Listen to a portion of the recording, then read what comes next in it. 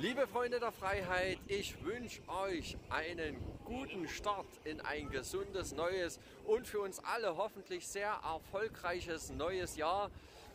Ich bin zum Auftakt, zum Jahresauftakt hier Ja, heute nach Bautzen zur Mahnwache gefahren. alle, ich habe die Chance genutzt, dass in Dresden Pause ist, noch Pause ist, um die Aktion. hier mal wieder zu unterstützen.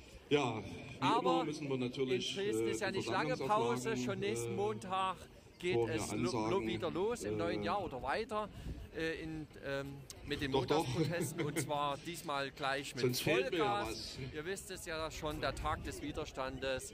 Es wird dort einen großen Protest mit den Landwirten, mal mit den am- Spediteuren am Son- und den am Handwerkern Sonntagabend geben. gehe ich dir und ich mal freue ganz mich drauf durch. und hoffe natürlich, dass ihr alle dabei Freunde, seid. mit denen ich zusammen bin, können darüber Bis ein Lied singen oder davon.